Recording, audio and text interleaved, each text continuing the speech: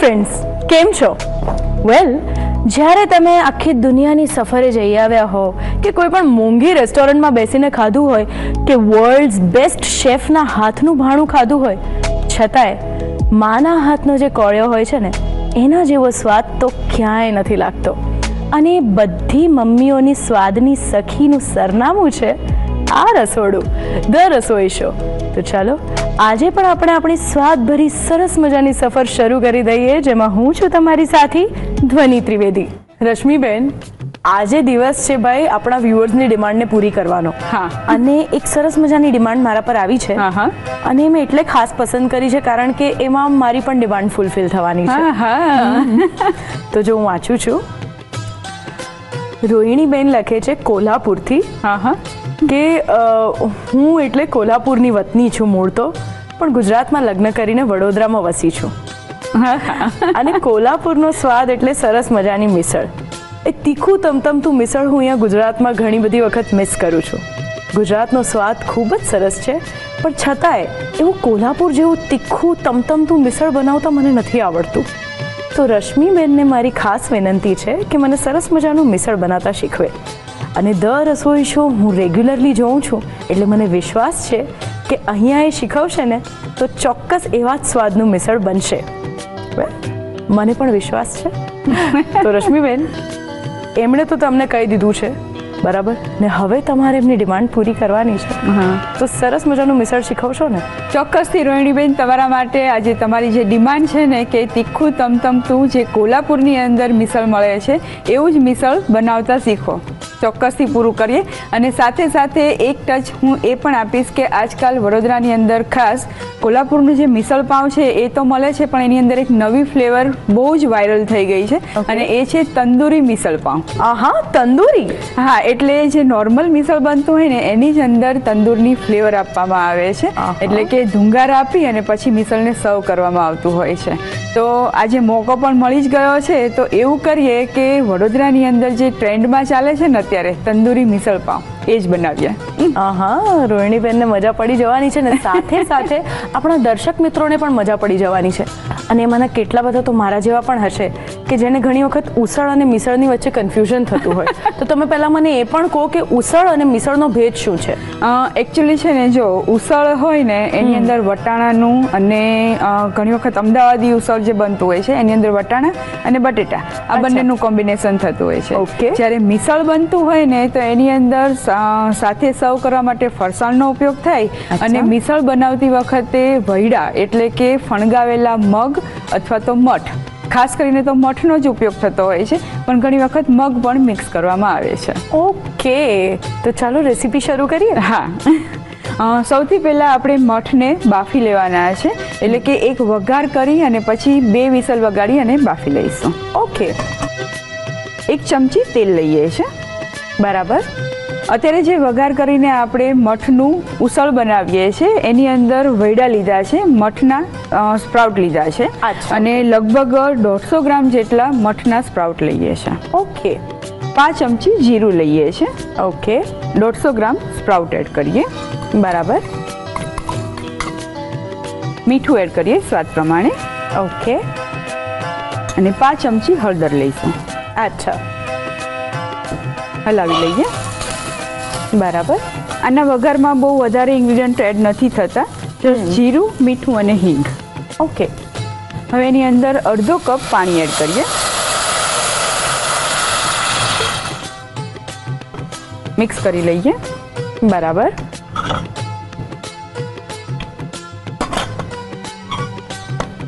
બે વિસલ વગાડી લઈશું અને પછી કુકર ઠંડુ થાય ત્યાં સુધીની આપણે આગળની જે પ્રોસેસ કરવાની છે એ કરીશું.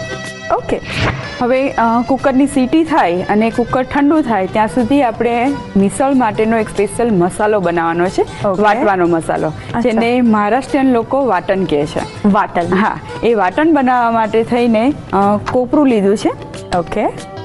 લગભગ કોપરાની સૂકા કોપરાની એક વાટકી હોય તો એનો ચોથો ભાગ એટલે કે પા ભાગ લઈએ છે. અને સાથે એક મીડિયમ સાઇઝની ડુંગળી લીધી છે. અચ્છા. હવે ડુંગળીમાં આપણે કટ આપી દઈએ અને પછી એને શેકવા માટે મૂકી દઈએ એટલે અંદર સુધી એ પ્રોપર શેકાઈ જાય. અચ્છા. આ રીતે ચાર કટ આપી દઈશું. બરાબર. જો આ રીતે ચાર કટ આપી દઈશું એટલે અંદર સુધી ડુંગળી છે એ પ્રોપર કૂક થઈ જશે અને શેકાઈ પણ જશે. ઓકે. શેકવા માટે મૂકી દઈએ. બરાબર. હવે કોપરું શેકાતા બહુ વાર નથી લાગતી એટલે કોપરાને ફરાવીને પ્રોપર શેકી લેવાનું છે અને એ ઝડપથી શેકાઈ જશે એટલે પહેલાં શેકાઈ જશે. ઓકે આપણે અત્યારે કોપરું અને ડુંગળી ખાસ આ જ રીતે શું કામ શેકીએ છીએ? એનાથી કોઈક સ્પેશિયલ ફ્લેવર આવે છે? હા આ રીતે તમે મસાલો બનાવો ને તો એની એક ફ્લેવર બહુ સરસ આવે. પ્લસ મહારાષ્ટ્રીયન વાનગીઓ બનતી હોય ને તો એની અંદર ખાસ ગોળા મસાલાનો ઉપયોગ થતો હોય છે. તો એ વાપરવાની જરૂર ન પડે. ઓકે જો કોપરું છે એ તરત જ બળવા લાગે. અને કોપરાની અંદર તેલનો એ ભાગ હોય એટલે વહેલો બળવા માંડે છે. જો કોપરું સરસ શેકાઈ ગયું છે. એક બાઉલમાં લઈ લઈએ. અને હવે ડુંગળીને પણ બધી બાજુ ફરાવી અને શેકી લઈશું. જો ડુંગળી સરસ શેકાઈ ગઈ છે. લઈ લઈએ. ઓકે. હવે આની અંદર વાટવા માટે જે બીજા આદુ લસણ ને બધું છે એને સાતળવાનું છે, એ સાતરી લઈએ અને સાથે થોડા ખડા મસાલા પણ છે. ઓકે. એક ચમચી તેલ લઈએ છે. બરાબર. તેલ સહેજ ગરમ થાય એટલે એની અંદર સહેજ શેકેલા ધાણા એડ કરીએ છીએ ઓકે. એટલે ધાણા અને તલને પહેલેથી શેકવાનું કારણ એ છે કે અત્યારે આપણે બધા મસાલા ભેગા કરી અને પછી એને મિક્સ કરીને સાંતળીશું. એટલે જો પહેલેથી શેકેલા નહીં હોય ને તો ઘણી વખત શું થાય છે કે કાચી ફ્લેવર આવે છે. એટલે. ઓકે. એટલે પહેલા તેલ વગર કે કંઈ પણ મૂક્યા વગર એને કાચા જ શેકી લેવાના છે અને પછી આ રીતે વઘાર કરીશું. ઓકે. અત્યારે ત્રણ નંગ લવિંગ એડ કરીએ છીએ. બરાબર. એક ટુકડો તજનો છે. અને આઠથી દસ દાણા આખા મરી છે. બરાબર. એક નંગ તીખું લાલ મરચું લઈએ છીએ અને એક નંગ કાશ્મીરી લાલ મરચું. અચ્છા. એટલે આ મસાલાની અંદર તીખાશ પણ ભરશે અને સાથે સાથે કલર પણ. રાઈટ હવે એની અંદર પાંચથી છ કળી લસણ છે નાના ટુકડા કરેલા છે એ એડ કરી દઈએ. બરાબર. અને લગભગ એક ઇંચ આદુનો ટુકડો છે એ એડ કરી દઈએ. સાથે અડધો નંગ કાળો એલચો છે. ઓકે એડ કરીએ છીએ. અને એક ચમચી જીરું એડ કરીએ. બરાબર. હવે આ બધું જ બરાબર સાંતળી લઈએ. મહારાષ્ટ્રીયન વાનગી હોય એટલે એની અંદર સૂકા લાલ મરચા ધાણા કોપરું લસણ ડુંગળી એ બધાનો ફ્લેવર ખૂબ આગળ પડતો હોય છે. કોપરું પણ હોય જ. મોસ્ટલી વાનગીઓમાં કોપરું તમને જોવા મળે. સાચી વાત છે. જો બધું સરસ શેકાઈ ગયું છે અને સુગંધ પણ આવવા લાગી છે. મસાલો બળી ન જવો જોઈએ એ ધ્યાન રાખવાનું. ઓકે. હવે જે કોપરું અને ડુંગળી રાખેલા છે એ જ બાઉલમાં કાઢી લઈએ. બરાબર. આ બધું જ એકદમ ઠંડુ થઈ જાય ત્યારબાદ એને વાટીશું. એટલે ઠંડુ થવા દઈએ. બરાબર. મિશ્રણ ઠંડુ થઈ ગયું છે ડુંગળી અને કોપરું બંનેને સમારી લઈએ. ઓકે. ડુંગળીને આ રીતે શેકીને પણ કંઈક મસાલો બને છે એવું હું ફર્સ્ટ ટાઈમ જોઈ રહી છું. એટલે આમ શ્યોર કે આનો ફ્લેવર જ કંઈક અલગ આવતો હોય. હા. હવે આ મસાલાને વાટીએ એ પહેલાં એની અંદર જે પણ બીજી સામગ્રી એડ કરવાની છે એ કરી દઈએ. ઓકે મીડિયમ સાઇઝનું ટામેટું લીધું છે એમાં અડધું નંગ ટામેટું લઈશું અને એના મોટા ટુકડામાં સમારેલું છે. એ એડ કરી દઈએ. સાથે મસાલા પણ આની અંદર જ એડ કરી દેવાના છે. ઓકે જો એક નંગ તીખું લાલ મરચું લીધું છે એક મોટી સાઈઝનું કાશ્મીરી લાલ મરચું લીધું છે. તે છતાં પણ આ વાનગી છે એકદમ તીખી તમતમતી હોય. એટલે એની અંદર એક ચમચી લાલ મરચું એડ કરીએ છીએ. બરાબર. એક ચમચી દાણા જીરું એડ કરીએ. ઓકે. અડધી ચમચી હળદર લઈએ છીએ. બરાબર. અને મીઠું સ્વાદ પ્રમાણે. ઓકે અત્યારે આપણે થોડું મીઠું એડ કરીએ છીએ. પછી જ્યારે આપણે વઘાર કરીશું અને પછી ચાખીને જોઈ લઈશું જો જરૂર લાગશે તો ફરી મીઠું એડ કરી દેવાનું. બરાબર. હવે આ બધી જ વસ્તુને આપણે મિક્સર જારમાં લઈ લઈએ. ઓકે.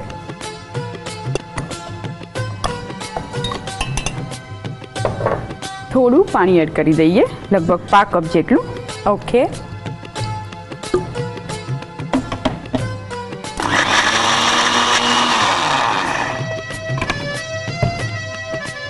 જો આટલું સરસ મિશ્રણ થવું જોઈએ. એકદમ દરદરું પણ ન હોય અને એકદમ સ્મૂથ પણ ન હોય. સહેજ કરકરું. ઓકે.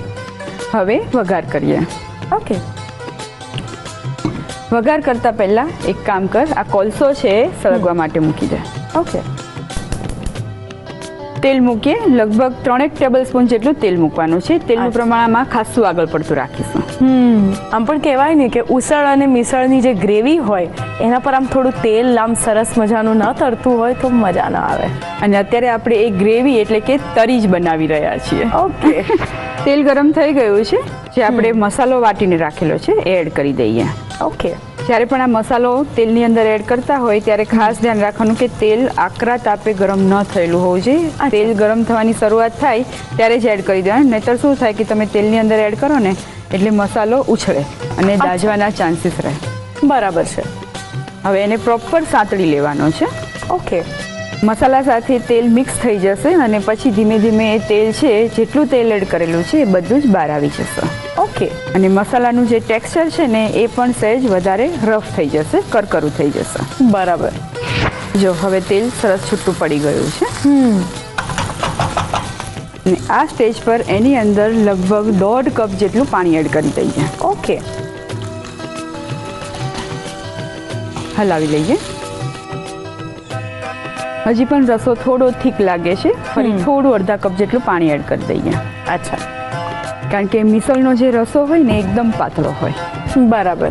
પછી તમે સર્વ કરતી વખતે એની અંદર ફરસાણ ડુંગળી આ બધું એડ કરો ને એટલે રસો આપોઆપ ઠીક થઈ જાય. રાઈટ અને કદાચ એટલે જ રસો પાતળો રાખવામાં આવે છે કારણ કે આપણે એની અંદર ફરસાણ અને ડુંગળી એડ કરવાના હોય છે.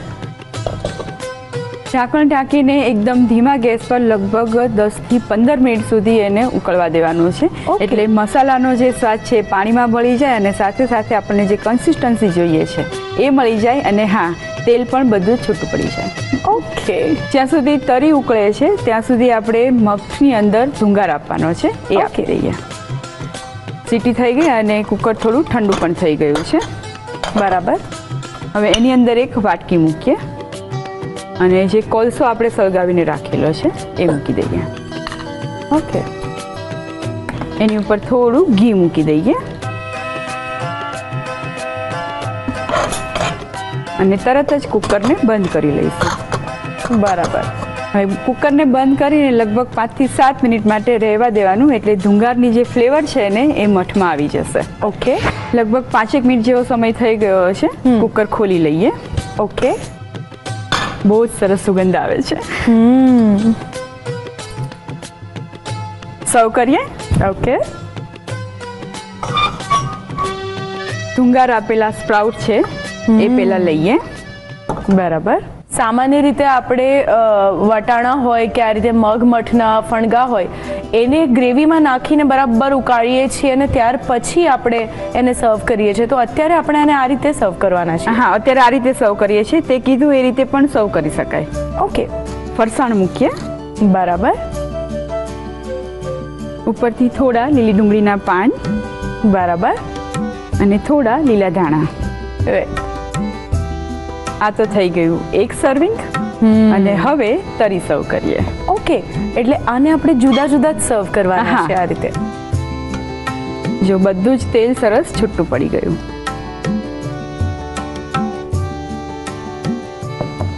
હવે થોડું ફરસાણ તરીમાં પણ એડ કરી દઈએ. અચ્છા. હવે આખી જે કોલ્હાપુરી મિસળ પાવની પ્લેટ છે એ કમ્પ્લીટ કરી લઈએ. ઓકે. સૌથી પહેલાં ઉસળ મૂકીએ. ઓકે. તરી મૂકીએ. બરાબર. સાથે ફરસાણ ડુંગળી બન ઓકે.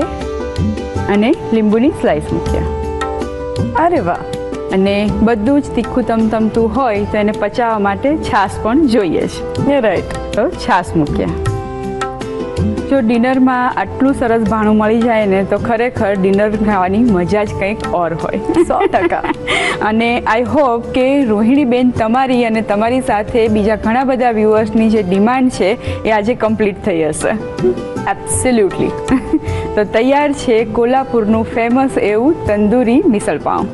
પરફેક્ટ સરસ મજાનું તીખું તમતમતું મસાલેદાર ફ્લેવરફુલ અને એની સાથે ધુંગાર આપ્યો હોય. એવું મિસળ પાઉં ખાવાની મને તો બહુ મજા આવી ગઈ.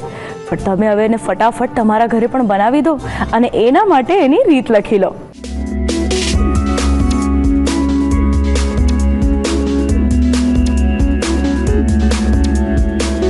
તંદૂરી મિસળ પાઉં બનાવવા માટે જોઈશે મઠનું મિશ્રણ તૈયાર કરવા માટે તેલ એક ચમચી, જીરું પાંચ ચમચી, ફણગાવેલા મઠ દોઢસો ગ્રામ મીઠું, સ્વાદ પ્રમાણે હળદર પાંચ ચમચી પાણી જરૂર મુજબ.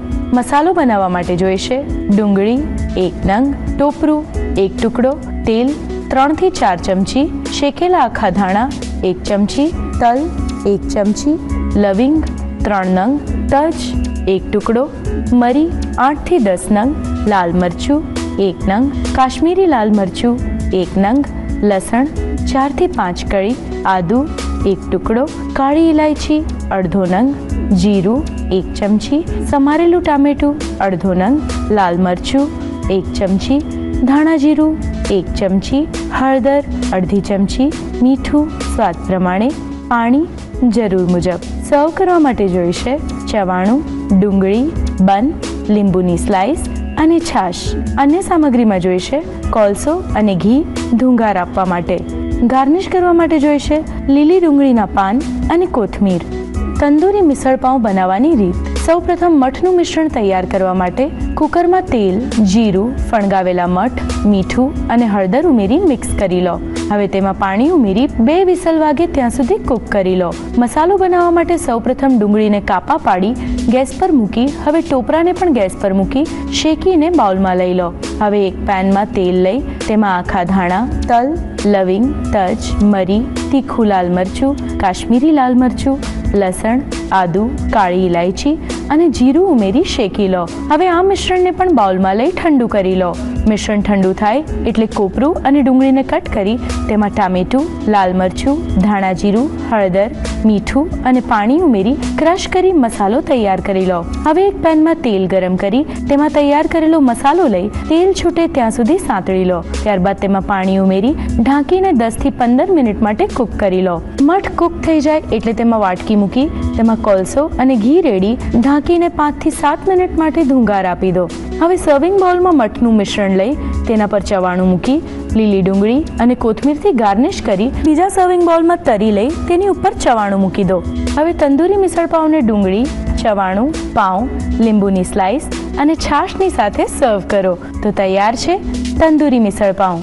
રશ્મિબેન બીજી પણ એક ડિમાન્ડ છે જે તમારે પૂરી કરવાની છે. ચોક્કસ. વેલ આ ડિમાન્ડ તો મને આમ કાનો કાન કરવામાં આવી છે. હા અને ડિમાન્ડ એવી છે કે ભાઈ તમારે અમને મુઠિયા બનાવતા શીખવવાના છે. ઓહો. સુરતની છે મારી ફ્રેન્ડ છે બેસ્ટ ફ્રેન્ડ છે વિશ્વા. એણે મને કહ્યું હતું કે તું રશ્મિબેનને કહેજે ને કે સરસ મજાના મુઠિયા અમને શીખવે. કારણ કે શું સરસ સરસ ભાજી મળતી હોય છે ને તો ત્યારે ભાજીનું શાક ખાવાની મજા આવે. પણ હવે આ જે સિઝન હોય ચોમાસાની તેમાં ભાજી મળે છે પણ એટલી સરસ નથી મળતી કે એને આપણે એકલી ખાઈ શકીએ. બરાબર? તો કોઈક પાલકની ભાજી હોય અથવા મેથીની ભાજી હોય મોટી મેથીની ભાજી હોય તો એવી કંઈક ભાજીને અનકોર્પોરેટ કરીને આપણે સરસ મજાના કંઈક મુઠિયા બનાવીએ કે જેથી ભાજીના પણ ન્યુટ્રિશન મળે અને મુઠિયા તો આપણા ગુજરાતી ઘરોની પસંદ છે. છે જ. તો એવું કંઈક સરસ શીખો. ખૂબ સરસ વિશ્વએ ડિમાન્ડ કરી છે. કારણ કે આ એક ડિમાન્ડ એવી છે ને કે મુઠિયા ઘરે ઘરે બનતા હોય છે. પણ પરફેક્શન સાથે નથી બની શકતા. અને બીજું રીઝન એવું પણ હોય છે કે મુઠિયા બનાવવા માટે મુઠિયાનો લોટ બાંધો પછી એના મુઠિયા વાળો અને બાફો અને પછી એને વઘારો.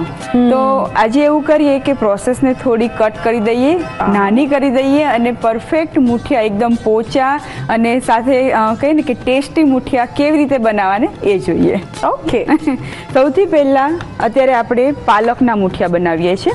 એટલે એક બાઉલ પાલક ઝીણી સમારીને લઈ લઈએ. બરાબર છે. હવે જો પાલકના મુઠિયા બનાવતા હોય કે દૂધીના બનાવતા હોય કે મેથીના બનાવતા હોય પણ આ રીતની પ્રોસેસ કરીને તમે જો મુઠિયા બનાવશો ને તો મુઠિયા છે એકદમ સોફ્ટ થશે ફરસા થશે અને ખાવતી વખતે એની અંદર ડૂચા નહીં પડે ઓકે. એટલા માટે પાલકની અંદર જ બધા મસાલા કરી લઈશું તેલ ને બધું એડ કરી લઈશું લોટ છેલ્લે એડ કરીશું. નોર્મલી શું કરતા હોય કે લોટની અંદર વેજીટેબલ્સ છે એટલે કે દૂધી પાલક આ બધું એડ કરી અને લોટ બાંધી લેતા હોઈએ છીએ. બરાબર. પણ આની અંદર તમે મસાલા કરો પાણી છૂટે અને પછી એની અંદર તમે લોટ એડ કરો ને તો લોટનું પ્રમાણ પણ જળવાય અને સાથે સાથે આપણને જે પરફેક્ટ પોચા મુઠિયાનું રિઝલ્ટ જોઈએ છે ને એ મળશે. ઓકે. મસાલા કરી લઈએ. બરાબર. મીઠું એડ કરીએ છીએ સ્વાદ પ્રમાણે. અત્યારે મીઠું આપણે જે લોટ એડ કરવાનો છે એના ભાગનું પણ એડ કરવાનું છે. ઓકે. હળદર એડ કરીએ પાંચ ચમચી. એક ચમચી તલ એડ કરીએ છીએ. અચ્છા. પાંચ ચમચી હિંગ એડ કરીએ. બરાબર. ખાંડ એડ કરીએ બે મોટી ચમચી. ઓકે. અત્યારે આપણે જે મુઠિયા બનાવીએ છીએ એ થોડા ખટમીઠા બનાવીશું. એટલે એની અંદર દહીં અને લીંબુનો રસ પણ એડ કરીશું અને એ ખટાશને બેલેન્સ કરવા માટે ખાંડ એડ કરેલી છે. એટલે ખાંડનું પ્રમાણ આગળ પડતું રાખીશું. અચ્છા. પાંચ ચમચી સોડા એડ કરીએ છીએ. અત્યારે પણ એડ કરી શકાય છે અથવા તો લોટની સાથે મિક્સ કરીને પણ તમે લઈ શકો છો. બરાબર. હવે એની અંદર એક મોટી ચમચી દહીં લઈએ છીએ અને દહીં સહેજ ખાટું હોય એવું લેવાનું છે. અચ્છા. એટલે સહેજ પાણીવાળું ખાટું દહીં. હા. બે મોટી ચમચી આદુ મરચાં અને લસણની પેસ્ટ લઈએ છીએ. બરાબર? બે મોટી ચમચી લીલા ધાણા લઈએ. રાઈટ. અને સાથે એક મોટી ચમચી તેલ લઈશું. ઓકે. હવે આ બધી જ વસ્તુ છે એને પ્રોપર હલાવી લેવાની છે એટલે હાથેથી હલાવીશું અને મેશ કરતાં કરતાં હલાવીશું. મસળીને એને મિક્સ કરીશું ને એટલે એની અંદરથી પાણી છૂટશે અને પરિણામે આપણે લોટ એડ કરીશું એ પ્રોપર મિક્સ થશે. ઓકે મીઠું અને ખાંડ પણ એડ કરેલા છે એટલે એ બંનેનું પણ પાણી છૂટશે. બરાબર છે. જો ખાસ્સું પાણી છૂટ્યું છે અને મિશ્રણ એકદમ ઢીલું થઈ ગયું છે. હવે આની અંદર લોટ એડ કરવાનો છે. ઓકે અત્યારે અડધો કપ ઘઉંનો લોટ લઈએ છીએ. પછી જરૂર પડશે તો બીજો એડ કરીશું. અને ઘઉંનો રોટલી માટે જે લોટ લઈએ છીએ એ જ વાપરેલો છે. જરૂર લાગે તમને કે પસંદ હોય તો એની અંદર ઘઉંનો કરકરો જે ભાખરી માટેનો લોટ હોય ને એ પણ એડ કરી શકાય છે. ઓકે. અત્યારે ત્રણ મોટી ચમચી રવો લઈએ છીએ બરાબર. મુઠિયાની અંદર રવો? હા. રવો લઈ શકાય અથવા તો કણકી કોરમાનો એટલે જે આપણે ઢોકળા માટેનો લોટ હોય એ વાપરી શકાય. તો એવું વાપરવાથી શું થાય છે? એટલે એનાથી જે આપણને સોફ્ટ ટેક્સચર જોઈએ છે ને એ મળશે. કારણ કે આ લોટ છે રવો છે પછી ઢોકળાનો લોટ છે એ બધા કરકરા લોટ હોય છે. ઓકે. બે મોટી ચમચી ચણાનો લોટ લઈએ છે. ઓકે. મિક્સ કરી લઈએ. બરાબર. ફરીથી લોટ એડ કરી દઈએ. એક ચમચી ચણાનો લોટ બે ચમચી રવો ઓકે. અને પા કપ જેટલો ઘઉંનો લોટ. અચ્છા. એટલે પ્રમાણ આપણે આ જ રાખવાનું છે? હા. કારણ કે બહુ જો પાલકનું પ્રમાણ વધારે હશે ને તો જ્યારે મુઠિયા બફાઈને તૈયાર થશે ને ત્યારે કાળા લાગશે. એટલે રંગ પણ એનો જળવાઈ રહે એ જોવું રહ્યું. સાચી વાત છે. જો અત્યારે ખાસું કડક મિશ્રણ થઈ ગયું છે. હમ. હવે એની અંદર થોડું પાણી એડ કરીએ. ઓકે. આશરે કેટલું પાણી લીધું છે અત્યારે આપણે? લગભગ બેથી ત્રણ મોટી ચમચી જેટલું. પછી જરૂર લાગે તો બીજું એડ કરી દેવાનું. બરાબર. એક ચમચી જેટલું પાણી એડ કરીએ. ઓકે.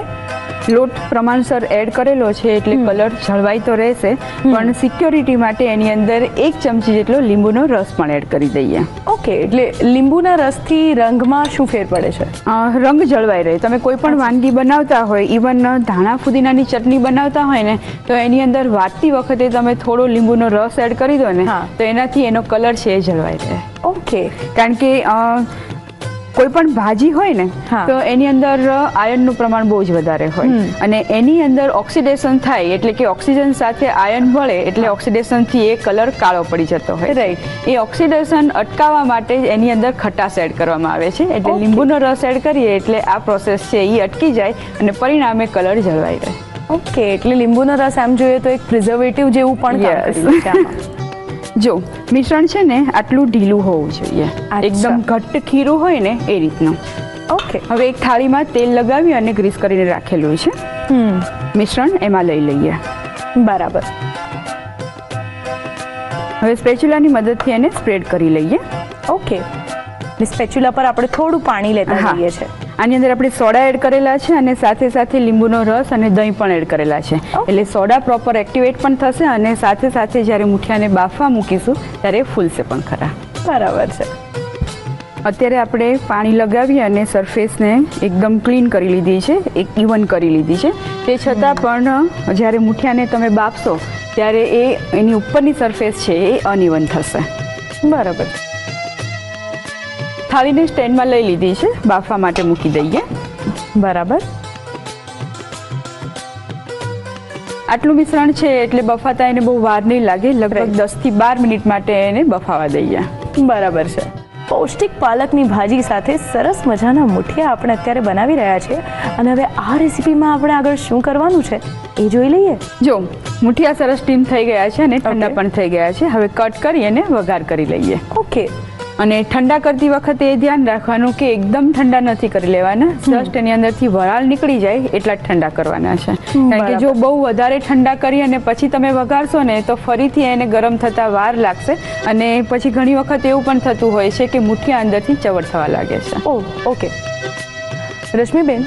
આ મુઠિયા તો એવા છે કે જે આપણે આમ બનાવીને તરત જ ખાવા હોય તો બનાવી શકીએ પણ અગર એવા મૂઠિયા આપણે આ જ રીતના મુઠિયા આપણે લઈને ટ્રાવેલિંગ કરવું હોય અને ચાર પાંચ દિવસ માટે આપણે કશે જતા હોય, તો પછી કેવી રીતે મૂઠિયા બનાવવા? આ તો બગડી જાય. પણ આને આ રીતે નહીં લઈ જવાના ને. મુઠિયાને તમે જ્યારે બનાવતા હોય મિશ્રણ ત્યારે પાણી ઓછું એડ કરવાનું. મુઠિયા વાળી શકાય એટલો કડક લોટ રાખવાનો. અને પછી એને સીધા તમે ધીમા તાપે તેલમાં તળી લો અને તળીને પછી લઈ જવાય. ક્રિસ્પી કરી દો મુઠિયાને પછી લઈ જઈ શકાય. ઓકે. જો મુઠિયા સરસ કટ થઈ ગયા છે. હમ. અને જો હું તને કાઢીને બતાવું. તો જોઈ શકે છે કે એકદમ સરસ જાળી પડેલી છે. યસ અને એકદમ પોચા પણ છે. બરાબર છે. બરાબર છે? જો આ રીતે તમે મુઠિયા બનાવો ને તો એકદમ પોચા પણ થશે અને વઘાર કરીને જ્યારે તમે સર્વ કરશો ત્યારે ફરસા પણ લાગશે અને ખાવાની મજા આવશે. ઓકે. હવે આ મુઠિયાને વઘારી લઈએ. બરાબર. વઘાર માટે બે મોટી ચમચી તેલ લઈએ છીએ રાઈટ. તેલનું પ્રમાણ થોડું આગળ પડતું રાખીશું એટલે ઉપરથી જો તેલનું કોટિંગ મળશે તો મુઠિયા ઝડપથી ડ્રાય નહીં થઈ જાય. અચ્છા. તેલ સરસ ગરમ થઈ ગયું છે. વઘાર માટે રાઈ મૂકીએ અડધી ચમચી. ઓકે. અડધી ચમચી જીરું લઈએ છે. બરાબર. અડધી ચમચી હિંગ લઈએ. ઓકે. મુઠિયાનો વઘાર કરતા હોય કે હાંડવાનો વઘાર કરતા હોય એની અંદર તમે હિંગનું પ્રમાણ આગળ પડતું રાખો ને તો એનાથી પણ સ્વાદ બહુ સરસ તૈયાર થાય. અચ્છા. હવે એક ચમચી સૂકા ધાણા લઈએ છે. અચ્છા આ મુઠિયાના વઘારમાં આપણે સૂકા ધાણાનો પણ ઉપયોગ હા. કરીએ છીએ. એક ચમચી તલ લઈએ. ઓકે. એક નંગ તમાલપત્ર લઈએ છે અને એક સૂકું લાલ મરચું. ઓકે. આઠથી દસ પાન લીમડાના લઈએ. બરાબર. અને હવે એની અંદર મુઠિયા એડ કરી દઈએ. રાઈટ હલાવી લઈએ. ઓકે. જો તું જોઈ શકે છે કે વઘાર સરસ કોટ થઈ ગયો મુઠિયા પર. યસ લાસ્ટમાં એની અંદર ગરમ મસાલો એડ કરીએ છીએ પાંચ ચમચી જેટલો. અચ્છા. આ રીતે છેલ્લે તમે ગરમ મસાલો મુઠિયામાં એડ કરો ને એનાથી એની ફ્લેવર છે એ બહુ સરસ લાગે છે. ઓકે અને ગરમ મસાલો ઓપ્શનલ છે. ભાવતો હોય તો એડ કરવાનો ન ભાવતો હોય તો ન એડ કરો તો પણ ચાલે. પણ એક વખત એડ કરીને ચોક્કસ જોઈ જોજો બહુ સરસ ફ્લેવર તૈયાર થાય છે. ચોક્કસ. મુઠિયા તૈયાર છે. ગેસ બંધ કરી દઈએ. બરાબર? સર્વ કરીએ. ગાર્નિશિંગ માટે ફ્રેશ નાળિયેરનું છીણ છે, એ લઈએ છે. ઓકે. અને આમ પણ મુઠિયાની સાથે તમે સૂકા કોપરાનું છીણ ભભરાવી અને પછી ખાઓ ને, તો પણ સરસ લાગે. સાચી વાત છે. થોડા લીલા ધાણા ભભરાવીએ. બરાબર? અને થોડા તલ ભભરાવી દઈએ. ઓકે આઈ હોપ કે તારી ફ્રેન્ડ વિશ્વાની ડિમાન્ડ છે એ કમ્પ્લીટ થઈ ગઈ હશે. એકદમ. અને સાથે સાથે તમને પણ એક પરફેક્ટ મુઠિયા કેવી રીતે બનાવવા એની રેસીપી મળી ગઈ. બરાબર ને? તો તૈયાર છે એકદમ સ્વાદિષ્ટ એવા પોચા પોચા પાલકના મુઠિયા. પરફેક્ટ સરસ મજાના ચા અને મુઠિયા અત્યારે મારી સામે પડ્યા છે. તમે કામ કરો ને. તમે એની રેસીપી લખી લો. ત્યાં સુધી આ ચા અને મુઠિયા એન્જોય કરી લો.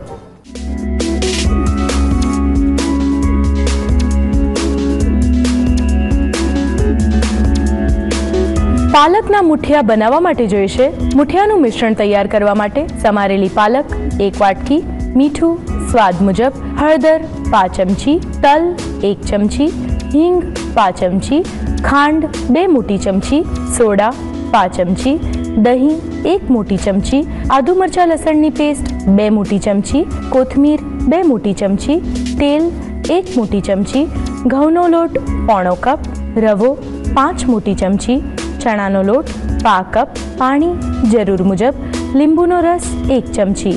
મુઠિયાને વઘારવા માટે જોઈશે તેલ, બે મોટી ચમચી, રાઈ, અડધી ચમચી, જીરું, અડધી ચમચી, હિંગ, અડધી ચમચી, સૂકા ધાણા, એક ચમચી, તલ, એક ચમચી, તમાલપત્ર, એક નંગ, સૂકું લાલ મરચું, એક નંગ, મીઠો લીમડો આઠથી દસ પાન, ગરમ મસાલો, પાંચ ચમચી. ગાર્નિશ કરવા માટે જોઈશે તાજા નારિયેળનું છીણ, કોથમીર અને તલ.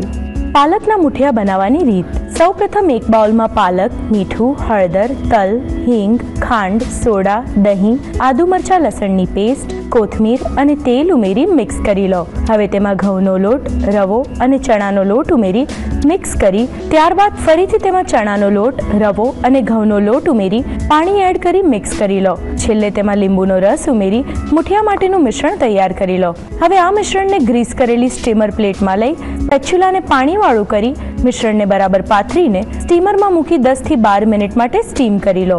મુઠિયા સ્ટીમ થઈ જાય એટલે તેને બહાર કાઢી ઠંડા કરીને કટ કરી લો. હવે મુઠિયાને વઘારવા માટે એક પેનમાં તેલ ગરમ કરી તેમાં રાઈ, જીરું, હિંગ, સૂકા ધાણા, તલ, તમાલપત્ર, સૂકું લાલ મરચું, મીઠો લીમડો અને મુઠિયા ઉમેરી થોડીવાર માટે કૂક કરી લો. છેલ્લે તેમાં ગરમ મસાલો ઉમેરી બરાબર મિક્સ કરી સર્વિંગ પ્લેટમાં લઈ તાજા નારિયેળની છીણ, કોથમીર અને તલથી ગાર્નિશ કરીને સર્વ કરો. તો તૈયાર છે પાલકના મુઠિયા.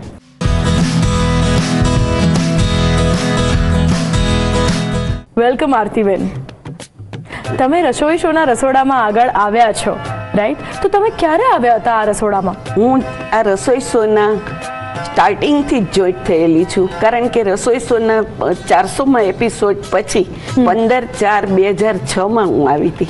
ઓકે અને ત્યાર પછી સમય બદલાયો અને આ રસોઈ શો ધ રસોઈ શો થયો છે.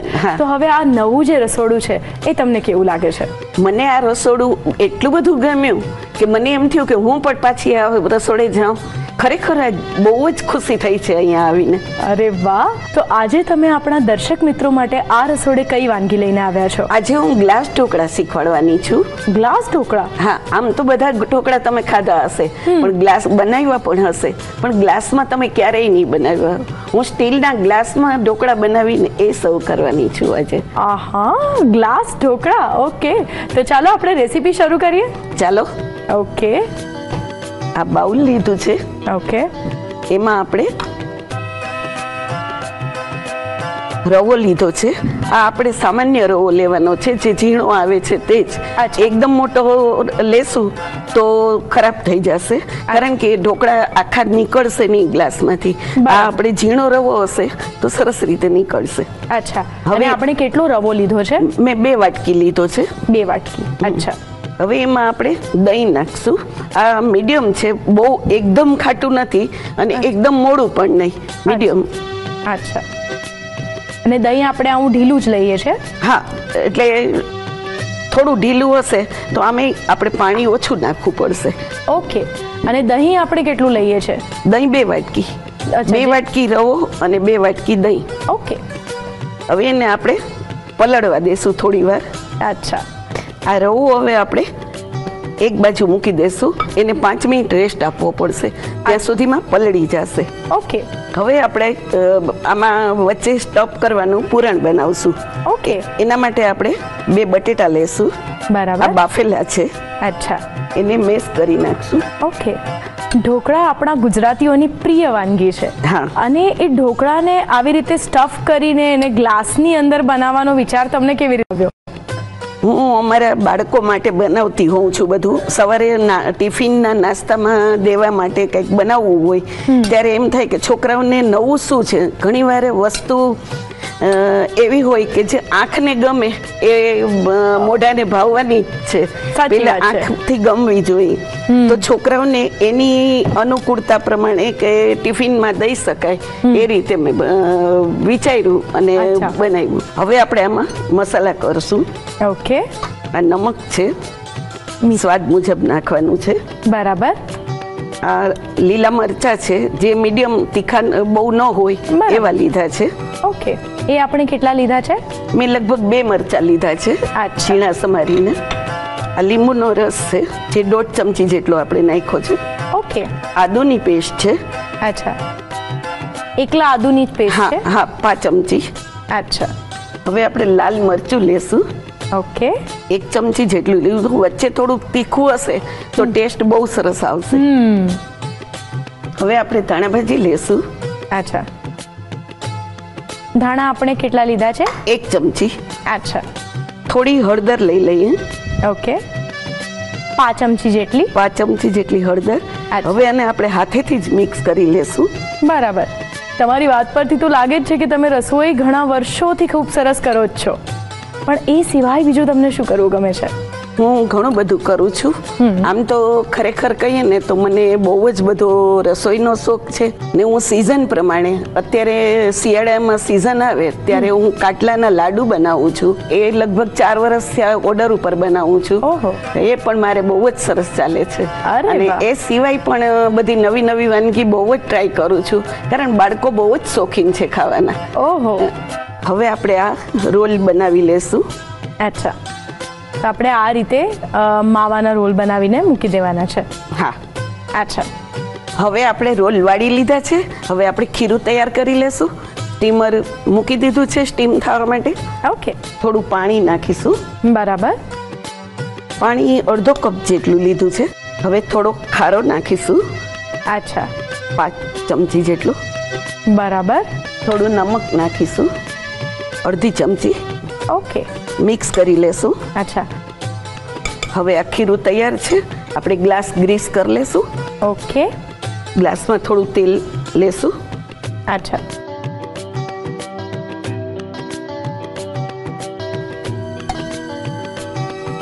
હવે આ થોડું ખીરું ભરશું આપણે આમાં.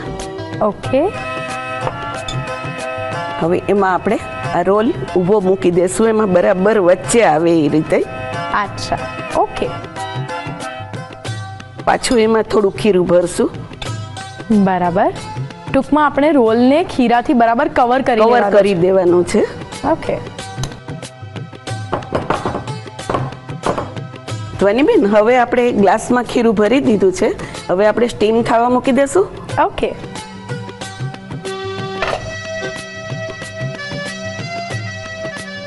હવે આને સ્ટીમ થતા લગભગ પંદર મિનિટ તો લાગશે કારણ ગ્લાસ છે એટલે નીચે કાચા ન રહે. એના માટે થઈને દસ પંદર મિનિટ આપણે રાખવા પડશે. ઓકે. સરસ મજાના ગ્લાસ ઢોકળા અત્યારે આ રસોડે બની રહ્યા છે. તો ચાલો હવે ફટાફટ જોઈ લઈએ કે આ રેસીપીમાં આપણે આગળ શું કરવાનું છે. હવે ધ્વનિબેન તૈયાર છે ગ્લાસ ઢોકળા. આ આપણે ઠંડા થઈ અને તૈયાર જ છે. હવે એને આપણે થોડા સાતડશું તેલમાં. ઓકે. તો આપણે ગેસ ચાલુ કરશું. બરાબર. એટલે જ્યારે ઢોકળા એકદમ સ્ટીમ થઈને તૈયાર થઈ જાય પછી એકદમ ઇઝીલી અનમોલ્ડ થઈ જાય છે ગ્લાસમાં. હા થઈ જાય. ચાકુથી ભરાવીએ એટલે લગભગ થઈ જાય છે. ઓકે. પણ ધ્યાન રાખવું પડે. હમ.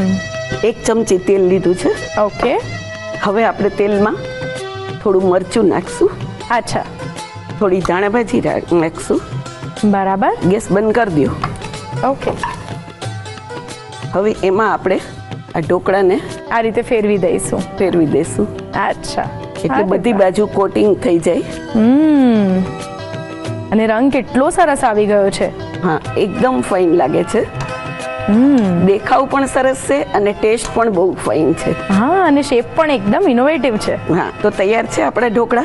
હવે આપણે એને ચોપિંગ બોર્ડ ઉપર લઈ અને ચોપ કરશું. ઓકે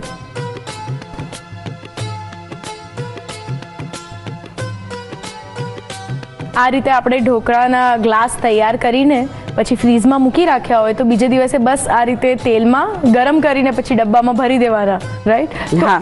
આ રીતે આપણે ઢોકળાને કેટલો વખત સુધી સાચવી શકીએ છીએ આને બે દિવસ સુધી સાચવી શકો. ફ્રીઝમાં રાખો તો બે દિવસ એકદમ સારા રહેશે. અચ્છા ઓકે.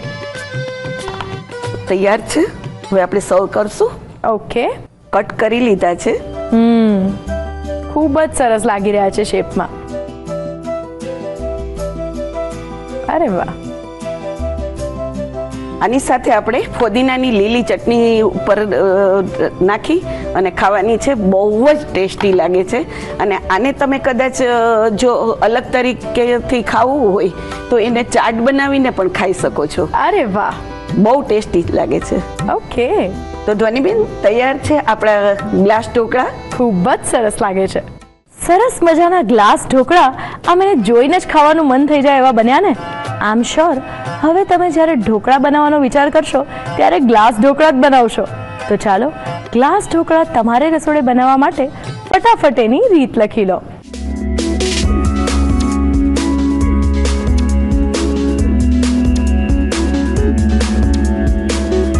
ગ્લાસ ઢોકળા બનાવવા માટે જોઈશે ખીરું બનાવવા માટે ઝીણો રવો, બે વાટકી દહીં, બે વાટકી પાણી, જરૂર મુજબ ખારો, પાંચ ચમચી મીઠું, સ્વાદ પ્રમાણે. પૂરણ બનાવવા માટે જોઈશે બાફેલા બટાકા, બે નંગ મીઠું, સ્વાદ પ્રમાણે. સમારેલા લીલા મરચાં, બે નંગ લીંબુનો રસ, એક ચમચી આદુની પેસ્ટ, પાંચ ચમચી લાલ મરચું, એક ચમચી કોથમીર, એક ચમચી હળદર, પાંચ ચમચી ઢોકળા વઘારવા માટે જોઈશે તેલ એક ચમચી, લાલ મરચું, અડધી ચમચી, કોથમીર એક ચમચી. સર્વ કરવા માટે જોઈશે લીલી ચટણી. ગ્લાસ ઢોકળા બનાવવાની રીત. સૌપ્રથમ એક બાઉલમાં ઝીણો રવો અને દહીં લઈ મિક્સ કરી પાંચથી સાત મિનિટ માટે રેસ્ટ પર મૂકી દો. હવે પૂરણ બનાવવા માટે એક બાઉલમાં બાફેલા બટાકા લઈ તેને મેશ કરી લો. હવે તેમાં મીઠું, લીલા મરચાં, લીંબુનો રસ, આદુની પેસ્ટ, લાલ મરચું અને કોથમીર ઉમેરી મિક્સ કરી લો. ત્યારબાદ તેમાં હળદર ઉમેરી પૂરણ તૈયાર કરી લો. હવે પૂરણમાંથી રોલ વાળી લો. હવે રવો અને દહીંના મિશ્રણમાં પાણી, ખારો અને મીઠું ઉમેરી મિક્સ કરી ખીરું તૈયાર કરી લો. હવે ગ્લાસને તેલથી ગ્રીસ કરી, તેમાં ખીરું લઈ પૂરણનો રોલ મૂકી ફરીથી ખીરું લઈ સ્ટીમરમાં મૂકીને દસથી પંદર મિનિટ માટે સ્ટીમ થવા દો. ઢોકળા સ્ટીમ થઈ જાય, ત્યારબાદ તેને ઠંડા કરી અનમોલ્ડ કરી લો. હવે ઢોકળાને વઘારવા માટે એક પેનમાં તેલ ગરમ કરી, લાલ મરચું અને કોથમીર ઉમેરી ઢોકળા મૂકી વઘાર કરી લો. હવે ઢોકળાને બહાર કાઢી, કટ કરી સર્વિંગ પ્લેટમાં મૂકી લીલી ચટણી સાથે સર્વ કરો. તો તૈયાર છે ગ્લાસ ઢોકળા. વેલ આજે હું એક સરસ મજાની રેમેડી લઈને આવી છું જે તમને થાઇરોઇડની સમસ્યા હશે ને, તો ખૂબ જ કામ લાગશે. આ તમને બધાને ખબર છે, આ છે ધાણા. ધાણા આપણા રસોડામાં હંમેશા હોય જ છે. અને આપણે અહીંયા એવી જ રેમેડી હંમેશા બતાવીએ છીએ ને કે જે આપણા રસોડામાં જ હોય અને એમાંથી જ આપણે મોટા મોટા રોગની સારવાર કરી શકીએ છીએ. અત્યારે મેં એક ગ્લાસ જેટલું પાણી લીધું છે ને એની અંદર એક ચમચી ભરીને ધાણા નાખી દીધા છે. અને અત્યારે આપણે આ પાણીને ઉકળવા દેવાનું છે. પાણી ઉકળવાની શરૂઆત થઈ ગઈ છે, પણ હજી એને આપણે એકથી બે મિનિટ સુધી બરાબર ઉકળવા દઈશું. જો તમારી પાસે સમય વધારે હોય, તો તમે આગલી રાત્રે આ પાણીને ઉકાળીને ત્યાર પછી એને ઢાંકીને રાખી શકો છો. આપણે પાંચેક મિનિટ આ સરસ રીતે પાણીને ઉકાળી લીધું છે. અને હવે ગેસ બંધ કરી દઈશું. અને આને ગાળી લઈશું.